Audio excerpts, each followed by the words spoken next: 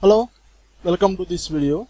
In this video, I'm going to explain how to establish the connection between Excel to SQL database and how to export the data from Excel to SQL database and retrieve the result set by applying the SQL query. After that, how to import the result set into Excel workbook. In order to execute this process, I executed below mentioned steps. First I created a workbook with a dataset and saved on my desktop. After that I established the connection with the SQL database and exported the data from Excel to SQL database. Next through SQL query I generated the result set. Next I copied the result set into Excel workbook.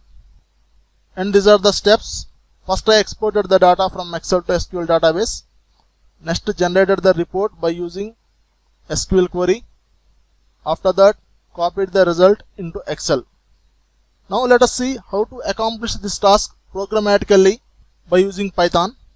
This is the complete code which I wrote to accomplish this task. First I created a folder on my desktop. After that I saved this Python file in that folder Next I created an Excel workbook with the data set. Let us open the workbook.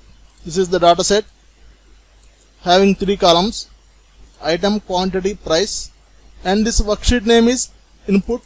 These two steps are prerequisites which I did to execute this program. And coming to program, first I imported the package of SQLite 3 which enables the Python to connect the SQL database. After that I imported OpenPyXL package. Through this package, Python provides the connection between Python file to Excel workbook. First I defined a class and class name is SQL connections. In that I created a constructor. Through this constructor, user can define the variables which is useful to subsequent process of the program. To define the constructor, we use underscore underscore init underscore underscore. First I created a variable with the name of con to create or establish the connection with the SQL database through SQLite 3 package. Self always denotes about current class. Through this step, Python provides the connection if database exists in the folder. If database doesn't exist, Python creates a database after that, it establishes the connection with the created database. After that, I created a variable to store the cursor of connection. After that, through OpenPyXL package, I provided the connection with the Excel workbook of Excel to database XLSX by using load workbook method. And this entire process is stored in WKB variable. Next I created a variable of sh to store the input worksheet of workbook.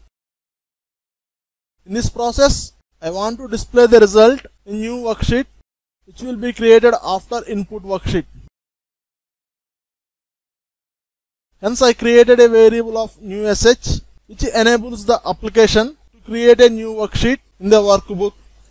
Index denotes about the position where the new worksheet has to be created.